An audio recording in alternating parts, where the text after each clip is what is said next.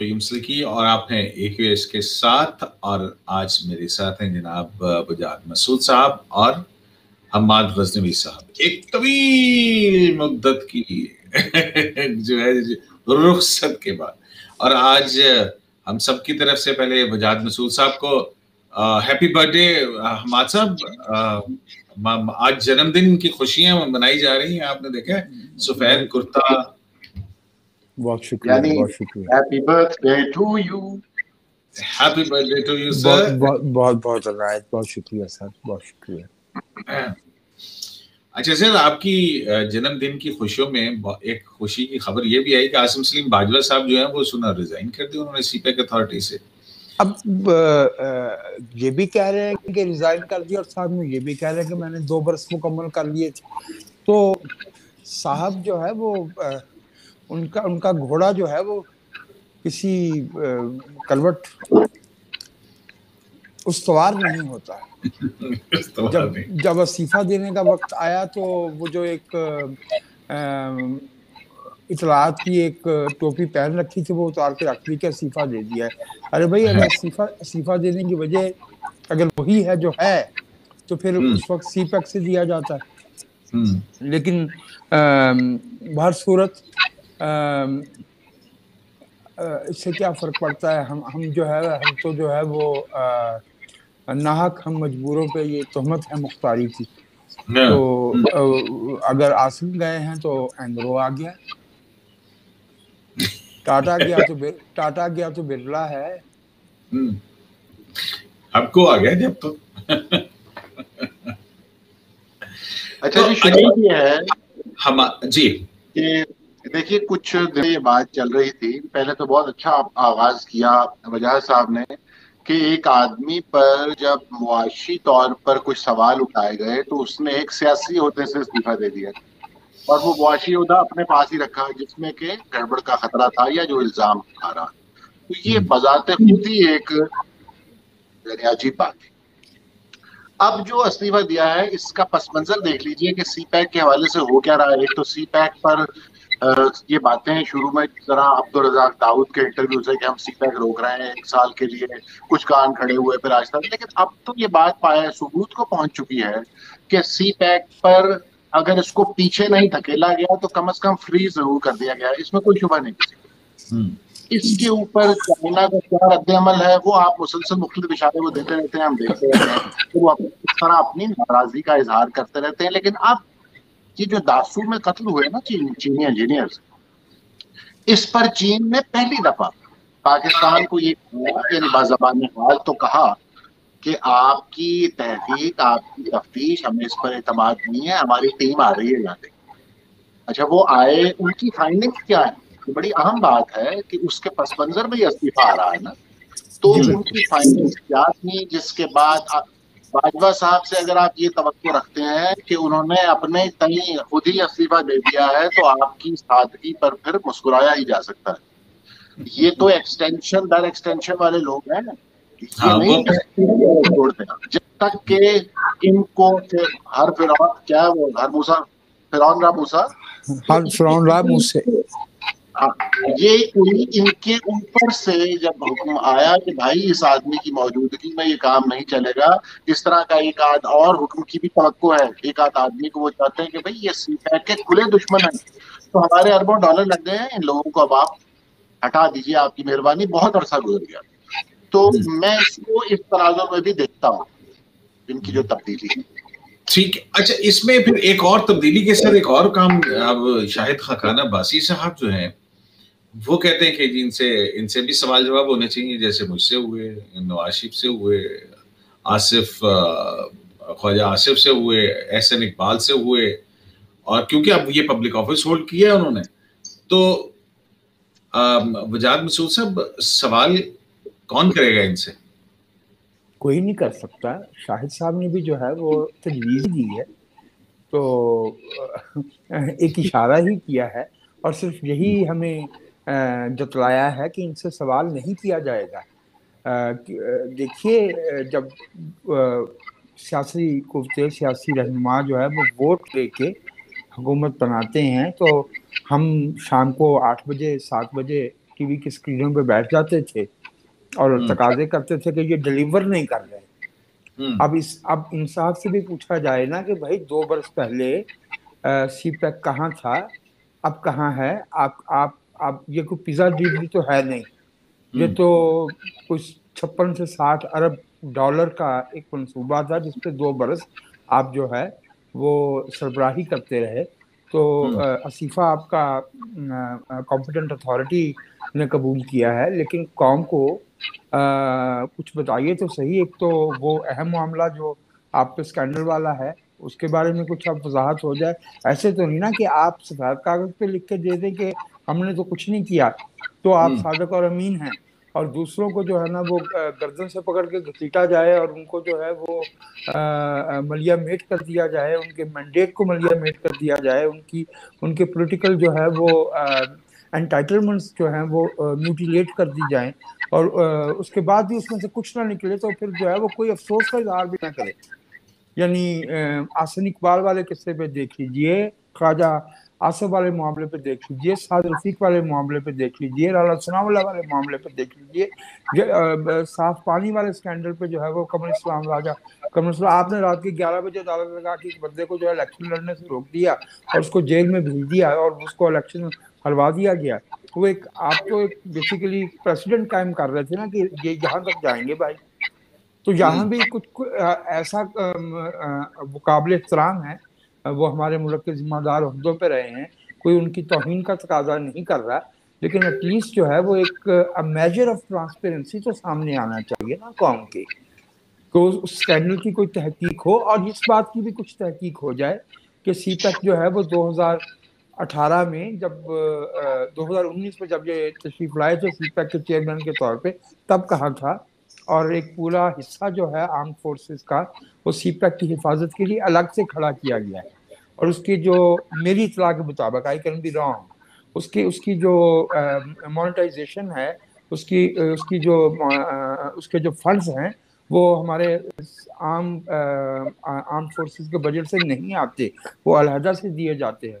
तो उसके होते हुए अगर इतना बड़ा हादसा हुआ है तो कुछ उसकी तहकीक कुछ उसकी ज़िम्मेदारी ये कोई रेलवे का हादसा तो है नहीं कि आज़म सवाती या शेख रशीद जब हंस के दिखा दे। ये तो ऐसा बड़ा मामला हुआ है जैसे सही कहा हमाद भाई ने कि चीनी जो है वो वेरी अनकंफर्टेबल अच्छा सीरीज़ ऑफ़ इवेंट्स की है वो ये जो चेन है कोशिया के अंदर पहले वो जो चीनी एम्बेसडर होते हैं उसको होता है फिर उसके बाद ये होता है फिर कराची के अंदर जो है वो मुसलसल होता है तो वो बहरहाल वो सिक्योरिटी इश्यूज़ ऐसे बने हैं कि फिर अच्छा, हमारे के मैं इजाफा करता जाऊँ? आप लोगों को अंदाज़ा ही होगा याद दहानी करवा रहा हूँ कि जिस ये हमला हुआ जब दासू में तो आसिम सलीम बाजवा साहब ने कहा कि मेरा कोई ताल्लुक नहीं है इस चीज़ से। मैं जिम्मेदार नहीं हूँ। मैं सी पैक अथॉरिटी का चेयरमैन हूँ, लेकिन मेरा कोई तो वापदा की ज़िम्मेदारी थी। तो ये जल्दी पे ये एक और भी अजीब बात जो उन्होंने की, यानी इस पर या तो शर्मदगी का इजहार किया जा सकता था, या फिर खामोश रहा जा सकता था। But he had the cheek as से he had the cheek to come on national TV and say कि आई हैव नथिंग मेरी तो ज़िम्मेदारी नहीं है ये। ये तो हो मतलब बापडा की ज़िम्मेदारी। तो जिस तरह बजाज साहब कह रहे थे कि फंड सारे आपके पास आते हैं रिसोर्सेज आपके पास हैं और फोर्सेस आपके पास हैं और आप कह रहे हैं कि ज़िम्मेदारी वापदा की नहीं ये और, और, का और, आप, और आपके वाहद क्राइटेरियन वाहद क्वालिफिकेशन आपकी अहदे के लिए ये है कि आप सदरन कमांड पे रहे हैं।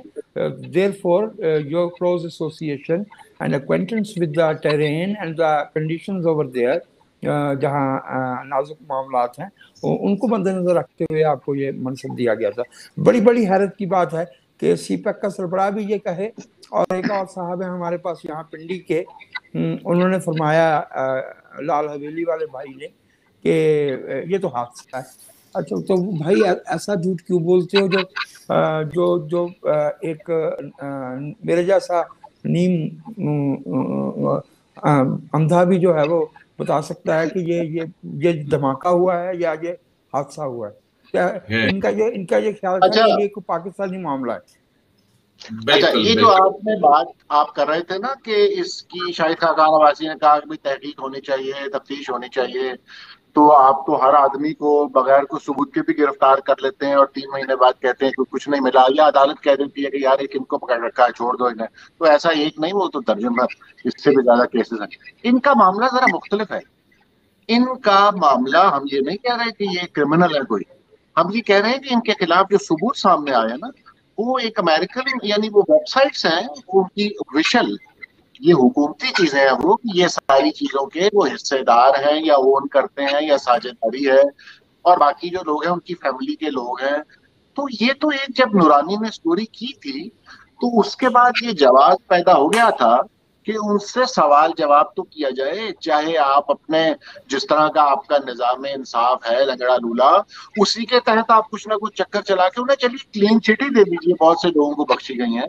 लेकिन उस तरह के जो हकाइक जो अमेरिकन एस सी कह लीजिए, वहाँ पर जो कंपनीज़ के हवाले से हक सामने आए थे, उसके बाद कोई जवाब नहीं है कि आप इनसे सवाल भी ना करें और आधे घंटे की मुलाकात के बाद प्राइम मिनिस्टर कह दें कि मैं मुतमिन हूँ। और मैं इनसे कोई इस्तीफा नहीं बना तो ये निज़ाम इंसाफ तो ना हुआ, ये तो एक तहरीक इंसाफ का कुछ मामला है। हम्म।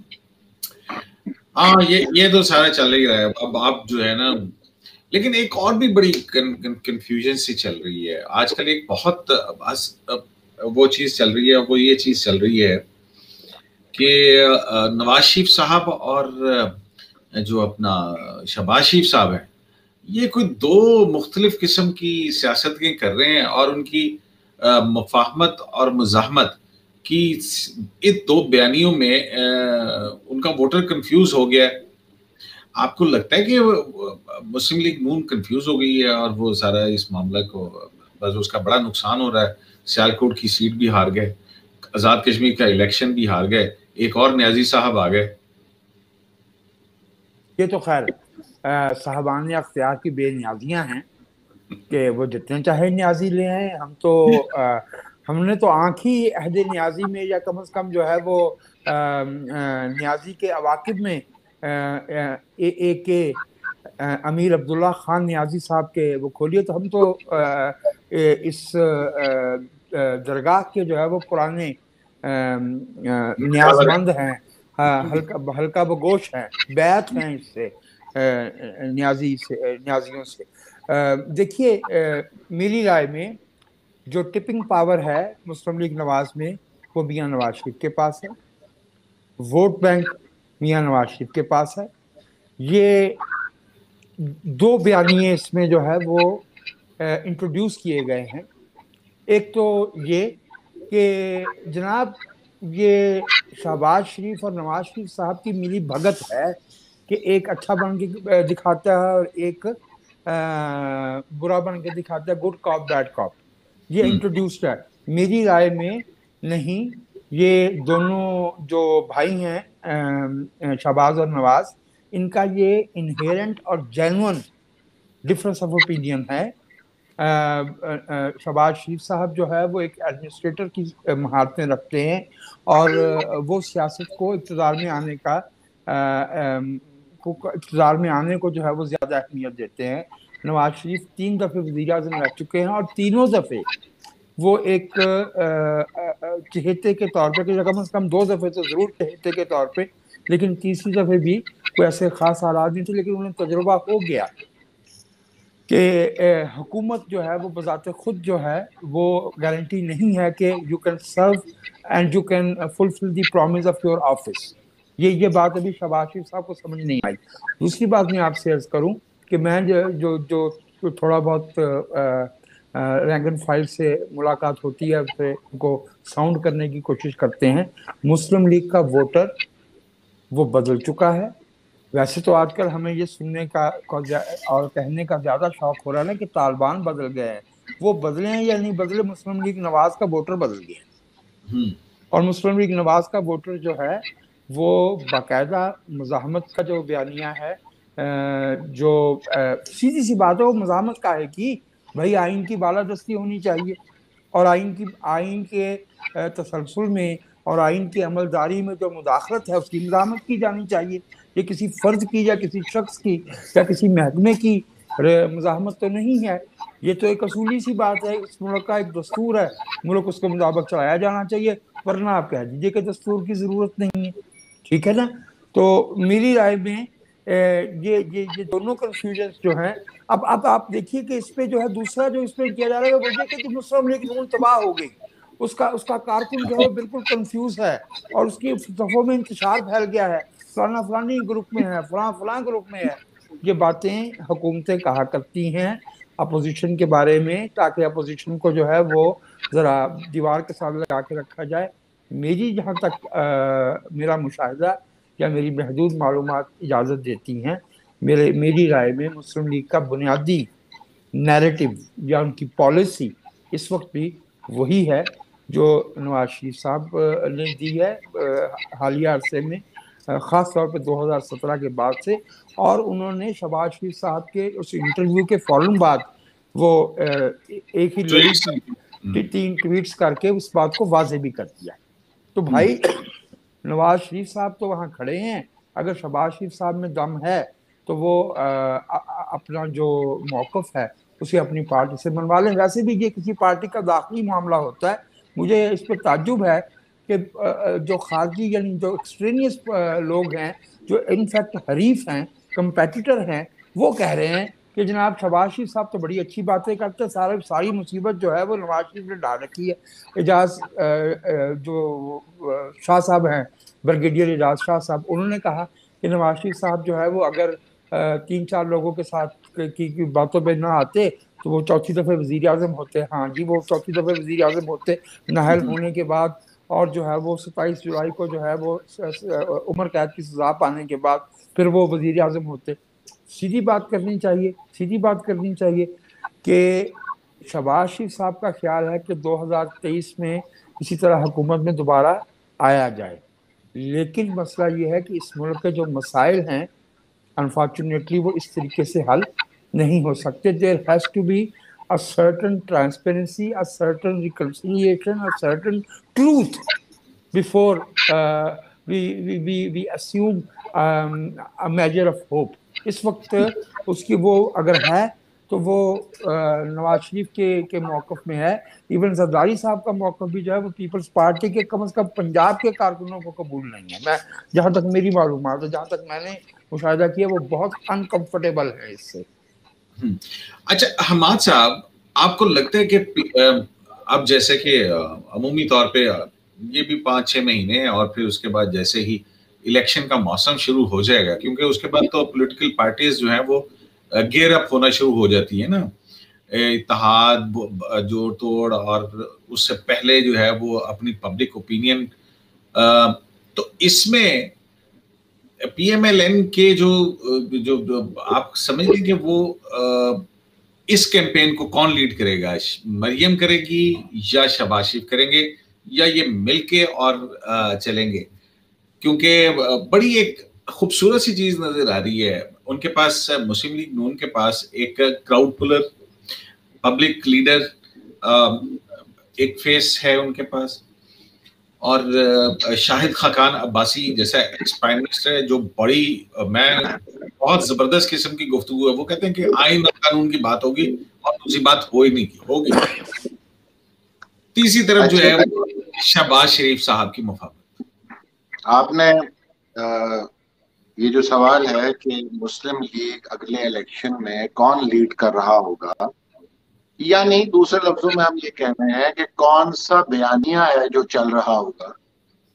तो इसका वजह साहब ने बिल्कुल वाजे कर दिए बात। देखिए बयानिया तो वही है जो नवाज़ शरीफ का बयान।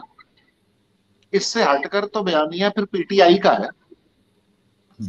तो आप पीटीआई देखिए, बिल्कुल ये सही बात है कि दो पार्टियाँ इस मतलब बुनियादी दो गरोह हैं, वो दो, दरअसल दो नजरियात हैं।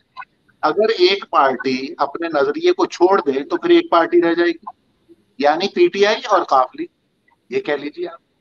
वो तो एक नज़रिया है, जिसकी वजह से वो तखसीस है और वो एक, वो खड़े नज़र आती है, मुस्लिम लीग नून जो है, नवाज़ शरीफ, यानी। अच्छा अब जो अनोमली पैदा होती है ना, जिसकी तरफ़ आपने इशारा किया, वो ये है कि शहबाज शरीफ जो है, वो पार्टी के सदर है। और पार्टी के सदर हैं, जो भी जिन हालात में भी हैं, हम कहते हैं वोट बैंक नवाज़ शरीफ का है, फैसला उनका चलेगा, सारी बातें ठीक है। लेकिन क्योंकि वो पार्टी के सदर हैं, और वो बहरहाल असेंबली के अंदर बिलखसूस, और बाहर भी बहुत सी चीज़ें हैं, जिन पर वो असरअंदाज होते हैं। और जब सिचुएशन बनती है, डिमांड करती है तो उसमें आप फिर फैसले भी कर रहे होते हैं बातें हो रही होती ये की मामला जो है ना, अगले इलेक्शन का हो या पीछे से इसे देख लें, बात वही है कि नवाज़ शरीफ और शहबाज शरीफ मसलन इनकी सियासत क्या, हम कहते हैं ना, अलग होगी, क्या सियासत है? भाई एक ही सियासत तो वो कर रहे थे, वो जयाउल हक साहब उनको ले आए थे, भैया जिलानी साहब, जो भी मामला था, हम सबको मालूम है, वो पचासी क्या, तिरासी क्या, पचासी क्या, और फिर आगे अठासी क्या। तिरानवे तक? जब नवाज़ शरीफ ने पहली दफ़ा उस वो फिक्रा बोला जो बाद में वो बुनियाद बना उनके नज़रिया जिसे हम कहते हैं या वोट को इज़्ज़त दो कहते हैं मैं डिक्टेशन नहीं लूँगा कभी यही मतलब है। हम्म, वोट को इज़्ज़त दो। तो जब तिरानवे में नवाज़ शरीफ ने जुमला बोला उसके बाद वो कभी ऊपर, कभी नीचे, कभी ज़्यादा शिद्दत पे, कभी इस सिस्टम में रास्ता बनाने के लिए कोई मुजाकरात, कोई सुलझुई, कोई रास्ता निकल आए किसी तरह, क्योंकि जब मार्शल लॉज लग जाते हैं तो रास्ता निकालना पड़ता है ना। आपके सामने ये तोप के सामने एक खड़ा हुआ आदमी, वो त्यानमन स्केयर का याद है ना आपको? वो त्यानमन स्केयर की तस्वीर याद है ना आपको? फूल लेकर वो जमहूरियत पसंद कुतें निकल आई थी ना? तो टैंक के सामने खड़े हो जाते थे? तो नवाज़ शरीफ ने इससे ज़्यादा दफ़ा ये किया है कि वो अपना फूल लेकर कोई रास्ता निकालता है उसमें से। ये पिछले बहुत से सालों की अब तो दिहाइयों की बल्कि की कहानी है। लेकिन तो बात हम कर रहे हैं ना नवाज़ शहबाज और वहाँ से मैं डिक्टेशन नहीं लूँगा और शहबाज साहब आज तक समझते हैं कि हाँ मैं डिक्टेशन ले लूँगा। क्योंकि उनका नज़रिया ये है कि हम हमें ये सिस्टम है ये इजाज़त ही नहीं देता। ये आइन की जो हमारी जिद कह लीजिए, ये तो हम बड़े से सत्तर साल से हमारे बुज़ुर्ग भी कोशिश करते रहे, हम भी कर रहे हैं तो इसका खुदा जाने क्या नतीजा निकलना है?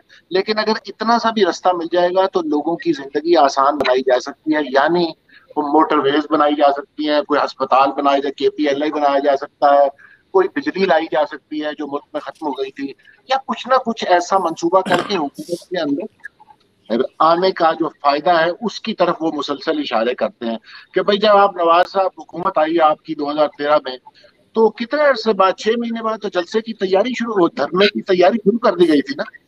तो फिर भी आज क्या मुस्लिम लीग दावा करती है? किस बुनियाद पर इलेक्शन लड़ती है? और क्या वो जो सीना तान के चलते हैं कि इस मुल्क में बिजली खत्म हो गई थी आपके यहाँ पर इंडस्ट्री क्या चलनी थी, घर क्या चलने थे सब कुछ ठप हो गया था। तो सबसे पहला काम ये था कि आप बिजली दोबारा लेकर आए। हमने देखा नहीं पाकिस्तान में कभी ये, कि कोई चीज़ एक बार जब खत्म हो जाए, हम तो हॉकी खत्म हो जाए तो दोबारा नहीं ला सकते। तो हम बिजली दोबारा ले आए। ये बहुत बड़ी अचीवमेंट है और ये किस तरह हुई थी? जब धरने दिए जा रहे थे और दिलवाए जा रहे थे और जो भी हो रहा था। तो मैं बड़ी वजाहत से मैंने मैं देखता हूँ कि शहबाज साहब का नुकता को पेश नहीं करता। मैंने उनका नुकता पेश किया कि वो ये समझते हैं कि उनका की राय है। नवाज़ शरीफ की दूसरी तरफ़ राय जो है वो इससे मुख्तलिफ़ है। उनकी बिल्कुल वही राय है मैं ज़्यादा वक्त लूँगा उनकी वही राय है जो वजाहत मसूद की राय यानी उन्होंने सीखा है ये। उन्होंने सीखा वो ऐसे नहीं थे। लेकिन उन्होंने सीखा कि आइन से जो कौमें हट जाती हैं, उनकी किस्मत में नशेब लिख दिए जाते हैं। और जो पाकिस्तान आज आप देखते हैं, किसी चीज़ को कोई इशारिया देख लीजिए। आप करप्शन से लेकर निज़ाम इंसाफ तक देख लीजिए। एक सौ अड़तालीसवा, एक सौ छप्पनवा, एक सौ छहत्तरवा, ये आपके मुल्क की हालत हुई है, ये क्यों हुई है? इसलिए कि कम अज कम ग्यारह आईनी निज़ाम है जो आपने जो आपने करतब किए हैं आज तक मुल्क में। तो कोई दुनिया में तो मिसाल कि ग्यारह निज़ाम बदलने के बाद आपकी कोई सम तय हो सके? नहीं हो सकती। तो अगर आपने इस मुल्क को बचाना है इस मुल्क के बाई लोग हैं ये हम मुल्क वगैरह कहते हैं ना बात ठीक तरह सब ये इंसान है। धड़कते हुए लोग नब्से धड़कती हैं जिनकी जिनके बच्चे हैं जिन्हें भूख लगती है जिनके बच्चों में स्कूल जाना है जो बीमार होते हैं। ये सब ये वसाइल का जो मसला है ना ये वसाइल मुक्ति भर लोगों के पास नहीं होने चाहिए, क्योंकि आइन ऐसा नहीं कहता है ये 22 करोड़ आवाम के वसाइल हैं और इन वसाइल को आवाम में तकसीम कर दिया जाए। ये है बुनियादी झगड़ा आपका। और नवाज़ शरीफ समझता है कि जब तक ये मसला हल नहीं होगा तो आप छोटी मोटी इतनी सीटें देंगे, आपको सोलह दे देंगे, नहीं, ग्यारह मिल गई, कोई बात नहीं, हौसला कीजिए। ये बातें चलती रहेंगी। और ये मुल्क जो है, ये जिस समत में जा रहा है, ये दुरुस्त समत नहीं है। या आप मैं आपको इशारे में मेरा ख्याल है एक प्रोग्राम इस पर रखिए कि पाकिस्तान मुख्तलिफ़ जो इंटरनेशनल इदारे हैं या सर्वेज होते हैं या इंडिकेटर्स आते हैं उसमें पाकिस्तान मुख्तलिफ़ शोबों में हेल्थ से लेकर और इंसान तक कहाँ खड़ा है? हम क्या हुआ? है? कितना हुआ? है सफ़र है क्या?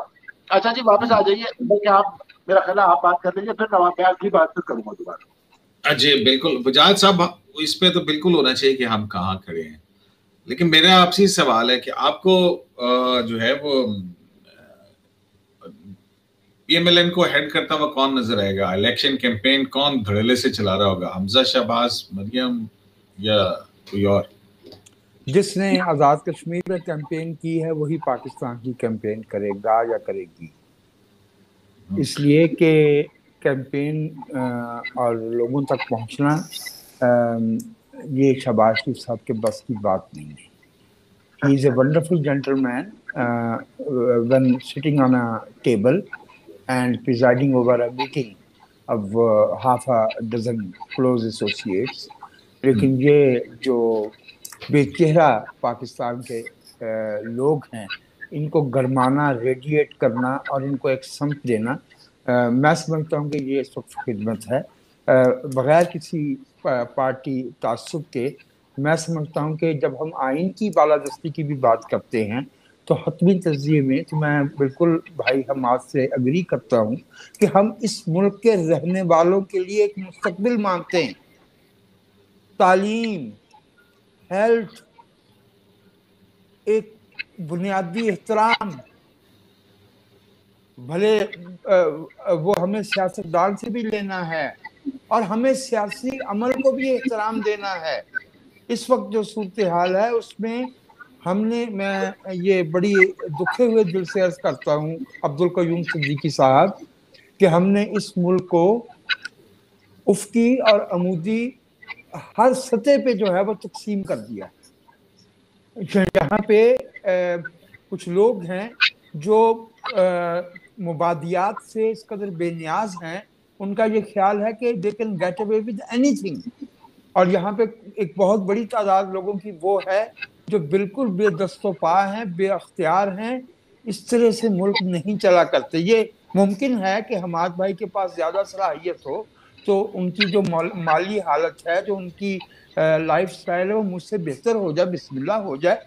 लेकिन कानून का तहफ़ लेकिन जो बुनियादी एहतराम है शहरी होने का, वो मेरा और हमाद भाई का एक रहना चाहिए ताकि मुझे ये उम्मीद रहे कि if not me my coming generation will work hard and get to that point where हमार टुडे इज़ इस इस सूरत हाल में जो है वो हमारे मुल्क की जो इस्तारा बना है, वो मेरी राय में तो वो वो बच्ची जो सड़क के किनारे अपने बच्चे को लेके बैठी थी वो रेप भी हुई है और कत्ल भी हुई है और उसका बच्चा भी कत्ल हुआ है।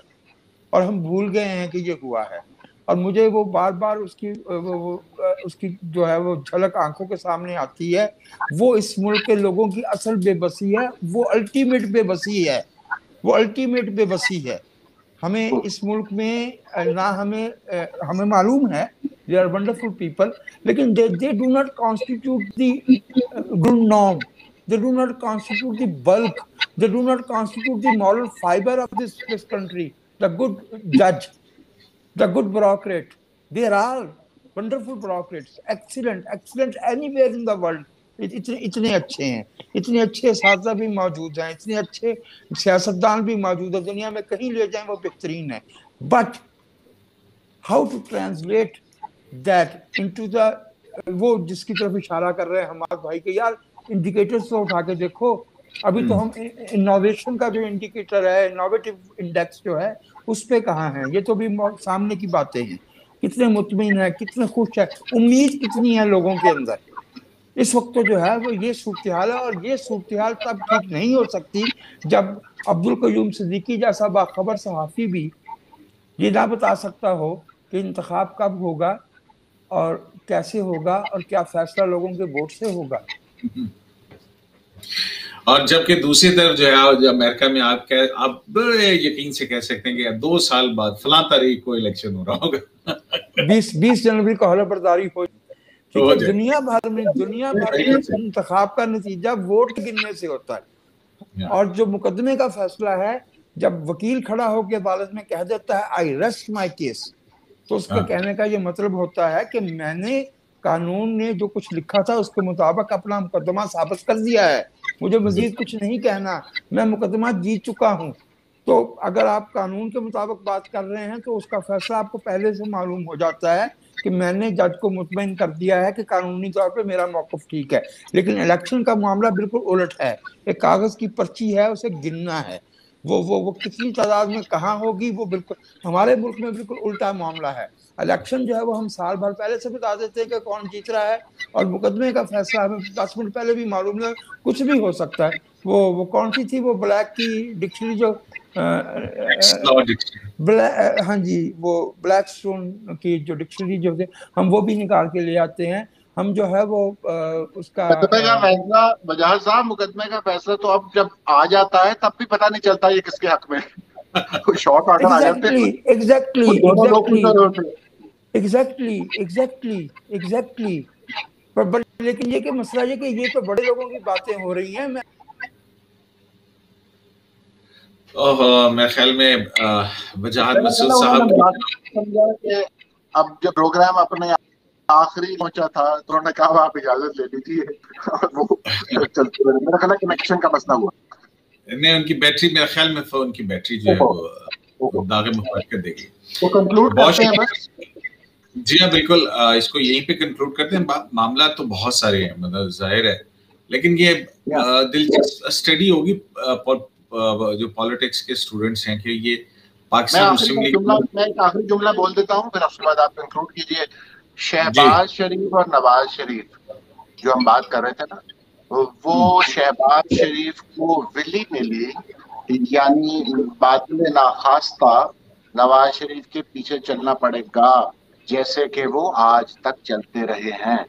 वो अपने ओन पर वो कह सकते हैं अब वो देखें ज़्यादा खुलकर भी उन्होंने कह दिया है। कि हमारी पॉलिसी अगर इस तरह होती है पॉलिसी से मतलब क्या है?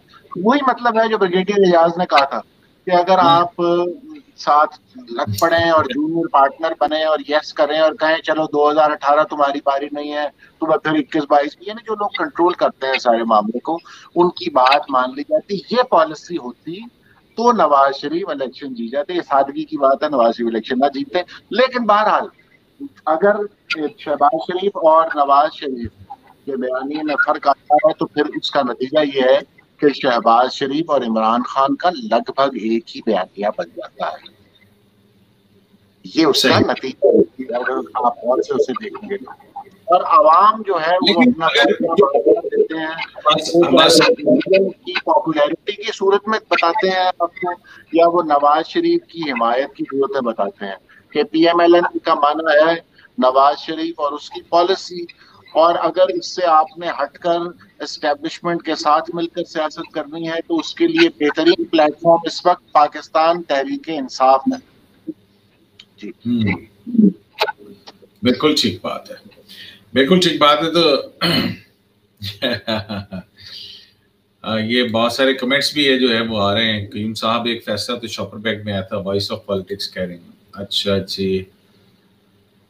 बहरहाल जी इंटरेस्टिंग टाइम्स मेरा ख्याल है कि जो इलेक्शन होगा ये इस मरतबा का इलेक्शन काफ़ी बड़ा इंटरेस्टिंग होगा। इसमें बहुत सारी चीज़ें जो हैं वो हमें देखने को मिलेंगी। बहुत सारा सियासत जो है वो हमें वो तो हर दफ़ा हमारा इंटरेस्टिंग होता है। इस दफ़ा इंटरेस्टिंग से भी ज़्यादा कोई चीज़ होगी क्योंकि हुकूमत बजिद है कि वो इलेक्ट्रॉनिक वोटिंग मशीन से इलेक्शन करवाएगी। और जिसका माना है कि वो इलेक्शन होने से पहले ही मुतनाजा। तो वो आप सोच सकते हैं कि अगर उसको रोकने में जितनी भी चाहे हंगामा आराई मुल्क में हो जाए, उसे रोकना चाहिए। क्योंकि अगर इलेक्ट्रॉनिक वोटिंग मशीन से इलेक्शन हुआ तो हम अपनी तारीख की सबसे बड़ी हंगामा आराई की तरफ़ शायद बढ़ जाए। चले, इस पे बिल्कुल बड़े तफसील से देखेंगे। और टाइम भी बहुत हो गया पैंतीस मिनट का आज आपने प्रोग्राम किया। ऑल दो के काफ़ी दिनों के बाद आप आए बजाज अपना माद साहब और बजाज साहब तो अब वादा कीजिए कि छोड़ के ना जाओगे। आते जाओगे। शायद इस अब्दुल करीम सिद्दीकी को एक लाइव से इजाज़त दीजिए अल्लाह ने के बाद